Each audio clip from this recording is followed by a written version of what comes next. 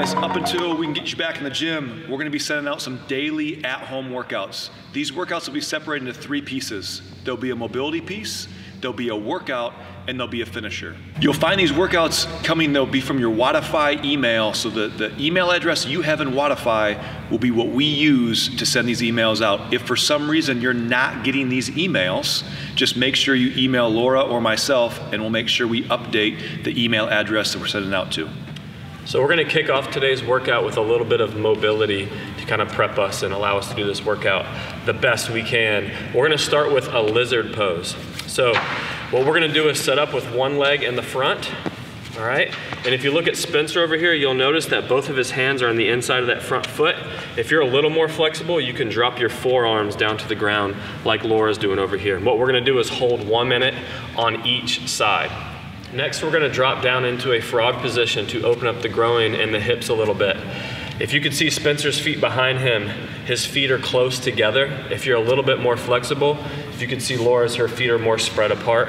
At the end, you guys can come on down to the forearms or you can sit up tall with your arms straight, whatever works best for you, but we're gonna spend one minute in that pose.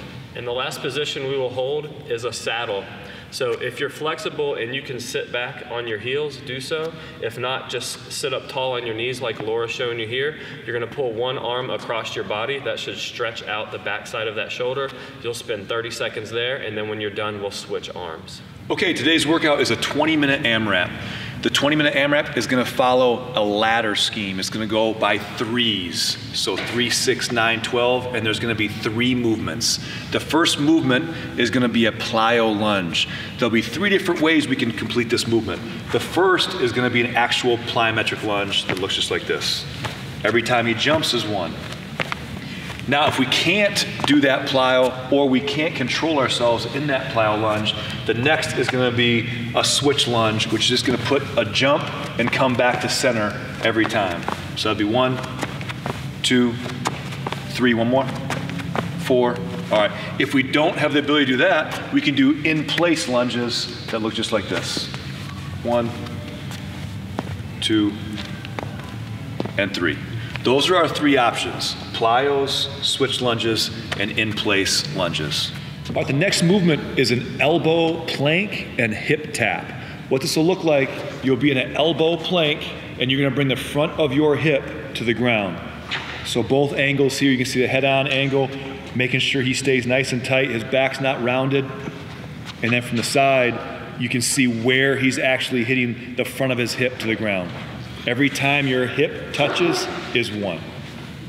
All right, the final movement is a down, out, in, up, and we'll show both angles here. They'll show two of them.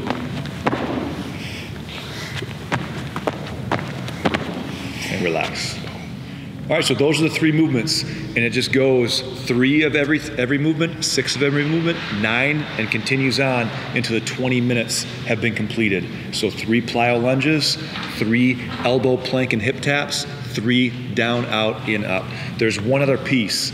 After each round, you're gonna complete a 30 second stone chair. So when I do three, three, three, after I've done those, that, that round of three, I'm gonna do a 30 second stone chair, and that stone chair is gonna look just like this, right at 90 degrees, and I'm holding.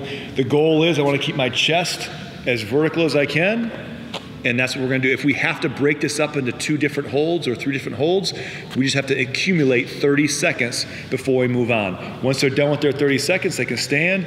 Now they would start their six plyo lunges, their six elbow plank and hip taps, and six down, out, in, up. And they do another 30 second stone chair. Continue that for 20 minutes. All right, guys, have fun.